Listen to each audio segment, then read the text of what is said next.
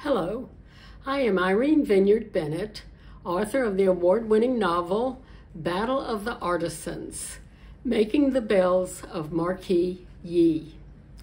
This story takes place in ancient China, 5th century BCE, along the Yangtze River.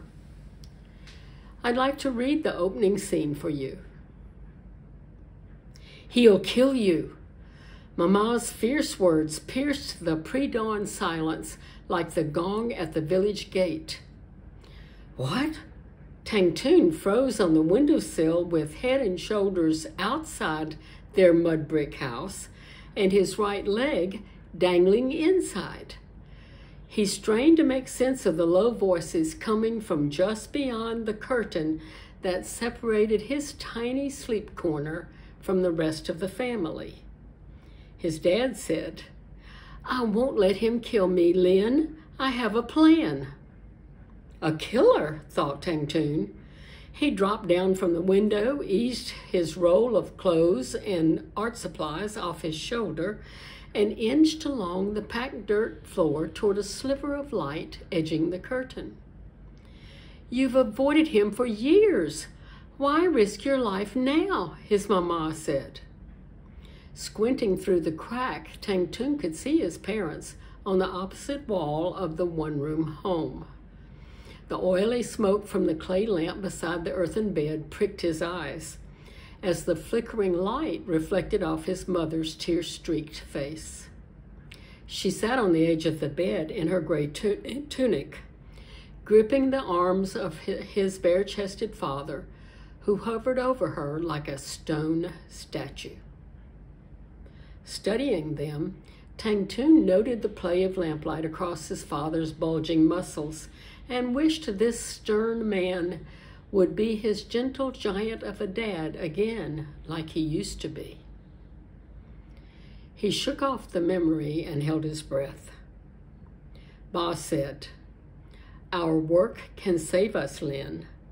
Our work will save us. He believes you betrayed him, Jian Jun. Her words sped up. And he beheads people. I can protect myself, he interrupted her. But think of our family. I've got no choice. I must do this, or none of us will survive.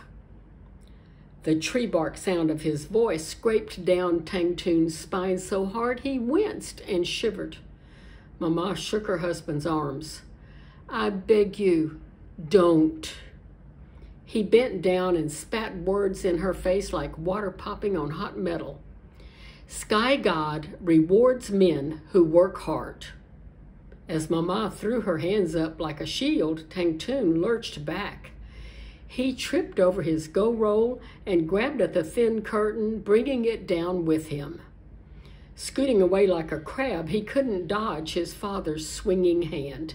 Swat! Ayah! Tangtun held his burning cheek and glared. Go back to sleep now, his Baba ordered. A killer, Baba? Who is it? Quiet.